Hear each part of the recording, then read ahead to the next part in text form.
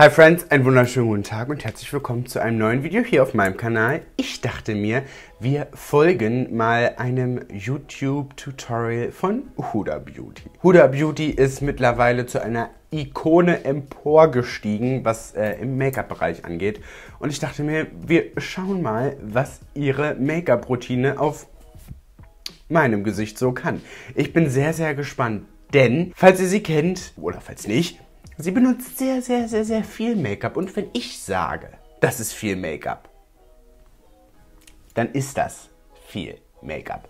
Freunde, ich bin richtig, richtig, richtig gespannt, was das Ganze kann. Ich habe hier auf meinem iPhone ein Tutorial und wir werden ihr Tutorial folgen. Ich schaue mal, dass ich das hinkriege, dass ich euch das hier so ein bisschen einblenden kann. Deswegen rutsche ich ein bisschen anders an die Kamera gleich ran, dass ich hier noch ein bisschen Platz habe, um das Video einzublenden. Aber ich hoffe, ihr habt Spaß daran und Lust darauf. Nehmt euch einen Drink, vielleicht keinen Kaffee mehr um diese Uhrzeit, wenn ihr es morgen früh guckt.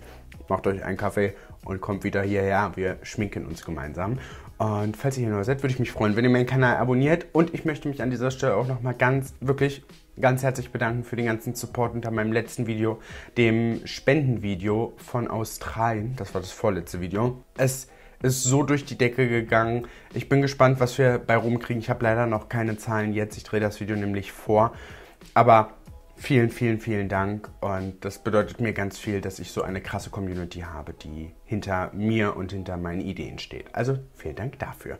Jetzt, Freunde, geht es auch los und ich rutsche ein Stückchen näher an die Kamera ran, weil ich bin so weit weg vom Tisch. Und wir schauen mal, was die Gute macht. I'm just gonna go ahead and grab my favorite primer right now, which is the Tatcha Silk Canvas. I'm gonna use a brush. Okay, sie fängt an mit Primer und benutzt den Tatcha Silk Canvas. Den habe ich nicht mehr, ich habe den verkauft, weil ich brauche keinen Primer für 90 Euro. Äh, wir haben den Elf Putty Primer. Das ist exakt genau dasselbe Produkt. Und sie geht mit einem Foundation Brush rein.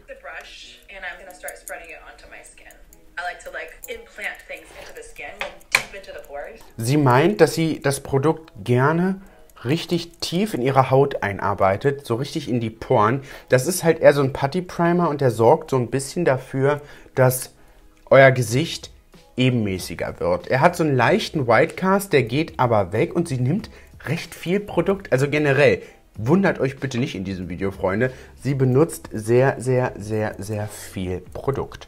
Ich finde es eine gute Sache, einen Primer mit einem Pinsel einzuarbeiten, denn dadurch, dass die Härchen so richtig schön in die Poren greifen, wirkt das Ganze dann auch so ein bisschen ebenmäßiger. Ich probiere annähernd an ihre Produkte ranzukommen. Ich habe kein einziges Huda Beauty Produkt hier bei mir zu Hause.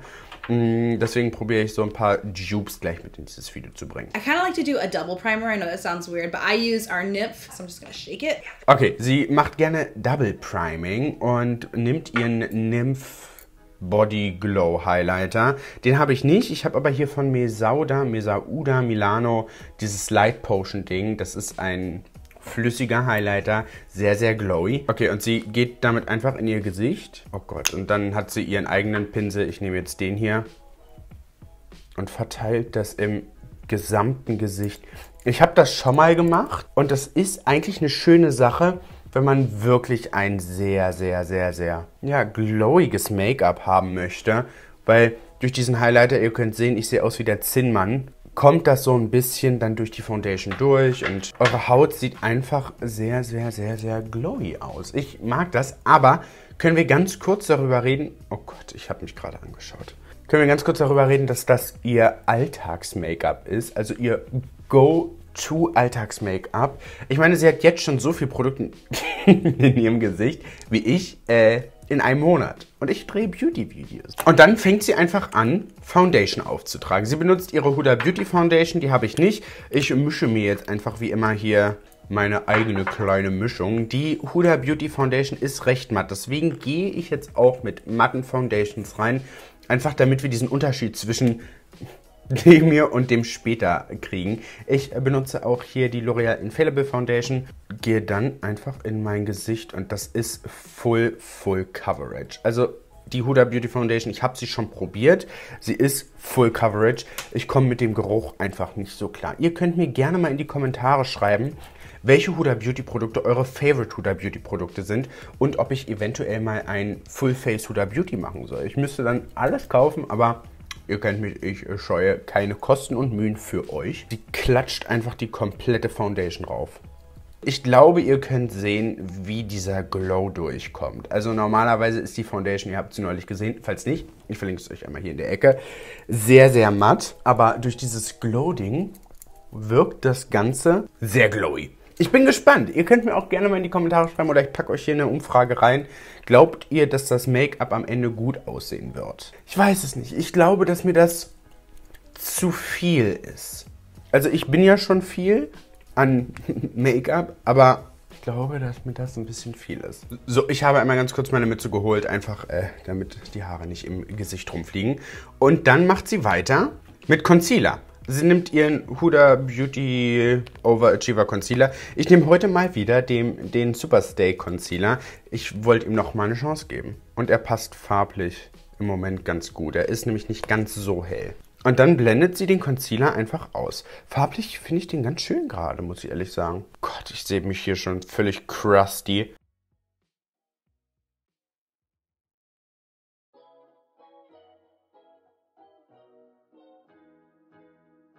Concealer ist einmal eingearbeitet und ich glaube, sie settet den nicht sofort, sondern, ich habe mir das Video schon angeguckt, sie fängt dann an zu konturieren mit ihrem Cream Contour Produkt. Okay, sie nimmt dann das Tentor Produkt und sagt, dass die meisten Leute zu tief mit diesem Produkt gehen. Deswegen gehe ich ein bisschen höher. Ich nehme von Uma Beauty hier diesen Double Take Sculpt and Strobe Stick. Die sind sehr, sehr gut. Und buffe das dann einfach ein. Das macht sie genauso. Ich weiß zwar nicht, warum sie erst den Concealer aufgetragen hat, weil ich meine, der fängt ja jetzt an zu creasen, oder? Aber vielleicht geht sie nochmal rüber. So viel Produkt in meinem Gesicht. Ich weiß nicht, ob ihr das in der Kamera erkennen könnt, aber es ist so verdammt viel Produkt. Ihr wisst, wie viel Produkt ich normalerweise trage. Okay, sie macht das Ganze auch am Kieferknochen. Das kann ich nicht machen, weil obviously habe ich einen Bart. Aber das macht auf jeden Fall schon Sinn, einfach um sicherzustellen, dass das Gesicht wirklich snatched aussieht. Und dann baked sie. Und äh, ich gehe jetzt hier nochmal kurz durch, weil das ist mir hier.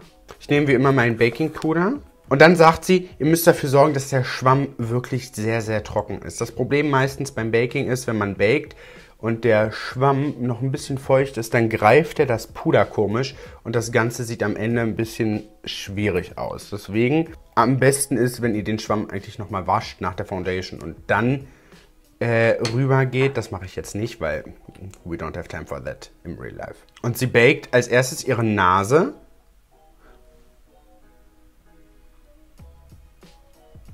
und presst das Puder wirklich hier in die Haut.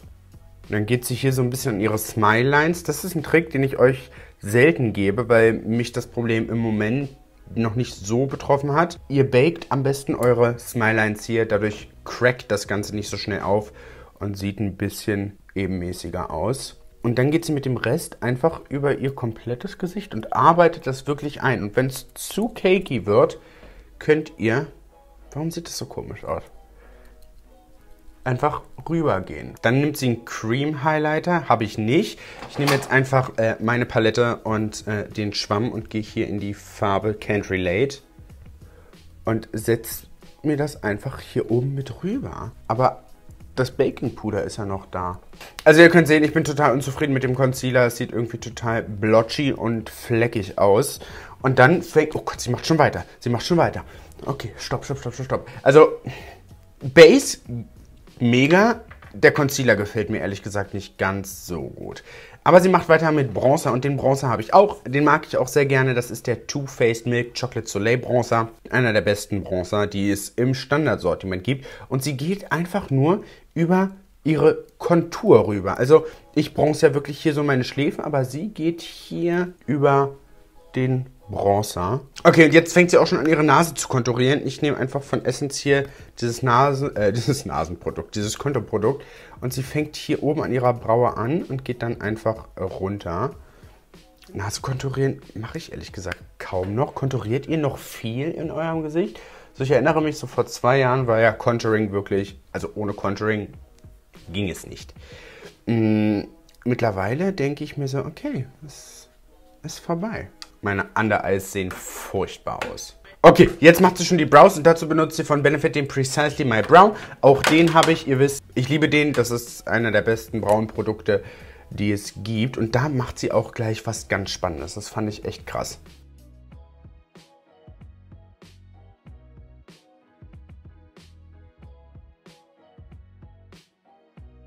Und jetzt macht sie was Spannendes. Sie geht noch einmal mit dem Bürstchen durch, verblendet das und fängt jetzt an, ihre Augenbrauen zu baken. Sie benutzt dafür einen festgebundenen Pinsel, geht in ihr Puder rein und presst dieses Puder in den vorderen Bereich von ihren Brauen. Sie meint, dadurch wirkt das Ganze natürlicher, so ein bisschen Ombre Brow mäßig und geht einfach durch und presst das Produkt da richtig rein. Es macht die Augenbrauen natürlich auch ein bisschen matter, aber ehrlich gesagt, so einen großen Unterschied sehe ich jetzt nicht so. Okay, sie, sie, ist, sie ist flott in diesem Video. Dann nimmt sie die Lidschattenpalette von ihr. Ich habe nur das Dupe äh, von Catrice Orchid Dusk Palette. Mega, mega gute Palette. Und geht in so ein Braun. Ich glaube, das ist das hier in der Mitte bei Catrice. Und gibt sich das komplett in ihre Lidfalte. Und dadurch, dass sie meint, sie hat so ein sehr, sehr starkes äh, Browbone, also dieser Knochen hier, geht sie mit dem Produkt etwas höher. Es sieht total komisch aus bei ihr. Aber am Ende sieht es gut aus. Und gibt sich das einfach in die Crease. Ich mache das gerne, so mit dem Bronzer hier reingehen, aber das ist mir schon hier zu viel Farbe. Oh shit, okay. Sie macht ein Eyeliner, Freunde. Und ihr wisst, wenn ihr mich äh, schon ein bisschen guckt, Eyeliner und ich, wir verstehen uns nicht ganz so gut. Deswegen atmet mit mir durch. Wir ziehen jetzt ein Eyeliner.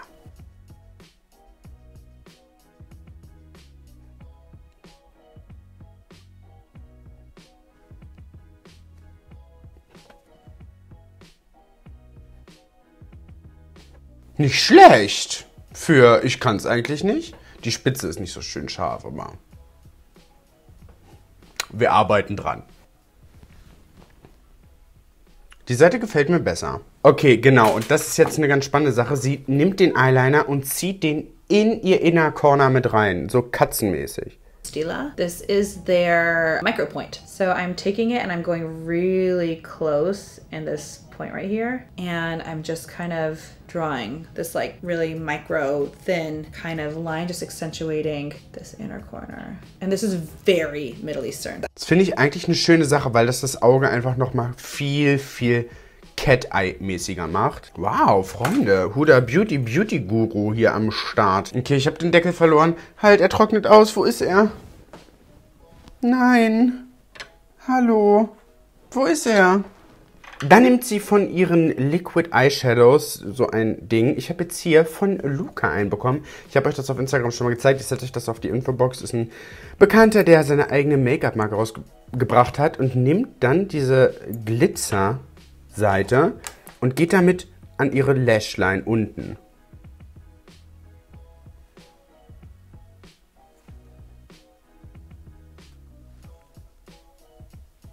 Fragt mich nicht warum, ne? Und dann nimmt sie wieder ihren braunen Lidschatten und das fand ich eigentlich ganz spannend. Sie will so ein bisschen Doll-like sein und geht dann hier unten lang. Also nicht, also unter die Lashes geht sie. Sie geht einfach unter die Lashes. Das sieht total Banane aus. Okay, also von dem Augen-Make-up bin ich gar kein Fan. Als nächstes kommt Mascara und dazu benutze ich die Roller Lash Mascara. Die mag ich auch total gerne. Gibt sich das rauf und ich glaube, dann klebt sie erst Wimpern auf.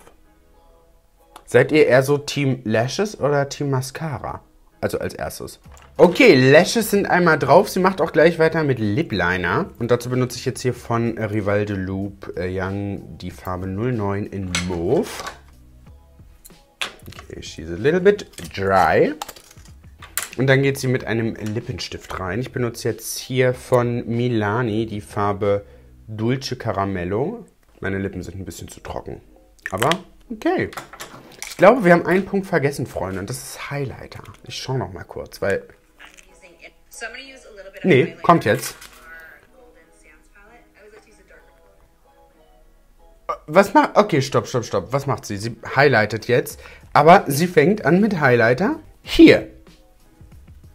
Okay. Wenn Huda das sagt.